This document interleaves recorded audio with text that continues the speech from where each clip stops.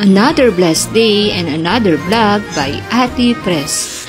Hi mga kabida, so ayun na nga, papakita ko na naman sa inyo yung mga binili ko online. So ito nga po yung mga kailangan ko na mga lagayan ng aking mga materials sa souvenirs. Ayan. So ito nga po yung maliit na mini cutter, tapos meron din po akong alcohol spray. Ayan, so ito naman po yung folder na pwede ko mga ilagay yung mga ibang mga piniprint ko.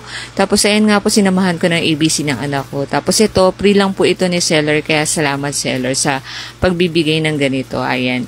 So, yung mga nakaraang video ko nga po, pinakita ko sa inyo na gumagawa ako ng aking maliit na vlogging area. Ayan, tapos nag-unboxing na rin po tayo ng mat na yan. Ito nga po, nag-unboxing na tayo ng mga kailangan ko pang ibang materials para sa lagayan ng aking mga maliliit na souvenirs o yung mga materials sa souvenirs eh.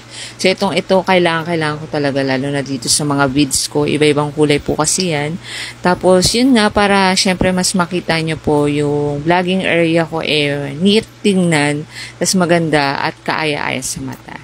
Kaya mga kabida, abang-abang lang po kayo sa ibang mga videos ko dahil nga po gagamitin natin ang aking small um, vlogging area sa mga product ko, sa mga ginagawa kong souvenir. Ayan. Abang-abangin nyo lang po ang mga videos na yan at sana po naging inspiration din po ang mga videos ko. Don't forget to follow and subscribe. God bless!